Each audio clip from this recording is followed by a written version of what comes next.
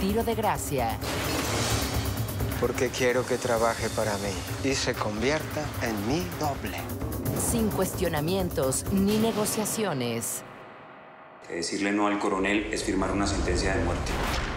Como dijo Vito Corleone, vamos a hacerle una propuesta que no va a poder rechazar. Entregarás tu libertad. Piense en el bienestar de su hija y el de su mamá. Cuente conmigo. ¡Excelente! Robinson Díaz. Ese actorcito va a ser de mucha utilidad. Estreno 12 de enero. Una exclusiva de Golden Premier.